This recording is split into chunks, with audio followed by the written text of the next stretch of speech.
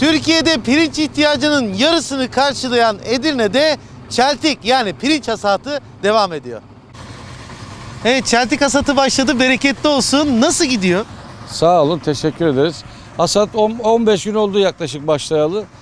Hasat iyi gidiyor. Arada bir yağmurumuz oldu. 3-4 gün bir mola verdik. Ama bu arada e, iyi başlayan fiyatlarımız 10 gün sonra bir baktık ki gerilere bayağı bir geldi.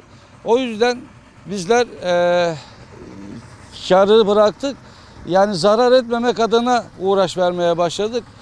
Bilemiyorum her nedendir ama e, bizden ucuza alınan çeltik raflarda bir bakıyoruz ki bizim verdiğimizin tam iki katına çıkmış vaziyetteler. Bununla ilgili bir çalışma ya da e, bir müracaatta bulundunuz mu yetkililere? Sesimizi duyurmaya çalışıyoruz. Ya burada da yapılması gereken şey yani devletin bir an önce bu e, aksaklıklara son vermesi. Yani giderilmesi, bizim mağduriyetimiz giderilmesini istiyoruz. Aracılar mı kazanıyor parayı? Evet. Fırsatçılar var mı? Artık bu fırsata dönüşmüş durumda. Çünkü dolar da euro derken bir bakıyoruz bizimkisi aşağıya.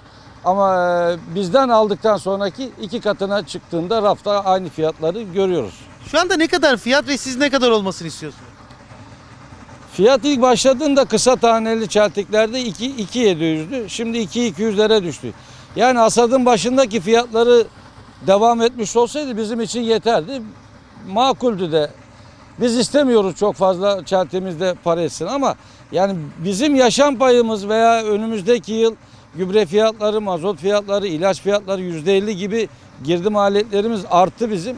Bu açıdan biz önümüzdeki yılı düşünerekten bu yıldan bizim eee, gelir elde etmemiz lazım ki tekrardan bu işi yapabilelim, devam ettirebilelim. Bu iş zor mu? E tabi zor yani. Çamurda uğraşmak kolay değil. Peki e, karşılığını alabiliyor musunuz? Aldığımız da oluyor, alamadığımız da oluyor yani. Bu sene nasıl? Bu sene şu anda biraz iyi değil yani. Hasat nasıl gidiyor? As, Hasat nasıl gidiyor? Asat e, verimler iyi de fiyatlar kırıldı yani. Nedir fiyatlar?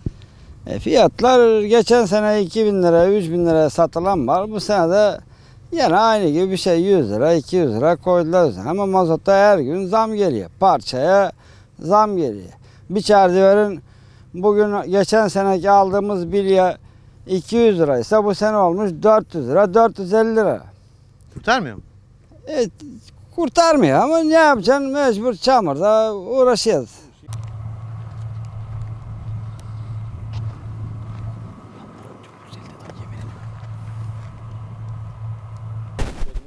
Tabii boşa gidiyor terimiz. Bütün yaz çalışıyoruz bu mahsulü çıkarmak için. Yani fiyat fiyat gelince karşılığı karşılamıyoruz yani. Mazot pahalı, gübre pahalı, ilaç pahalı. Er, er, er, ele ele eltreye çok zam geldi. İşimiz yani çiftçimiz çok zor durumda yani.